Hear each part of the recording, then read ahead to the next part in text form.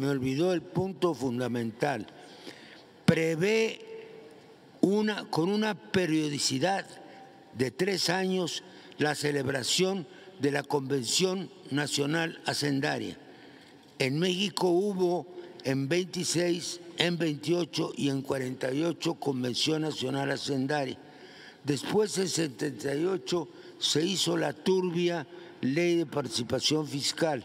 Hay que volver a las convenciones hacendarias, de modo que sea el conjunto de los gobernadores y los municipios, este es lo central, que defina cuáles impuestos cobra la federación y cuáles cobra el Estado. Es la espina dorsal del federalismo.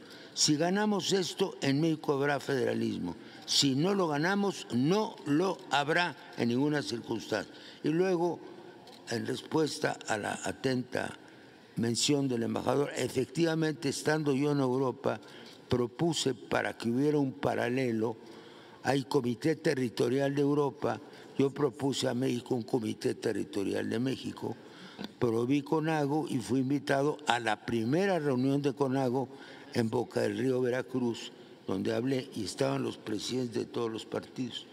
Y hubo un compromiso para la construcción de una red territorial mexicana que no se ha hecho.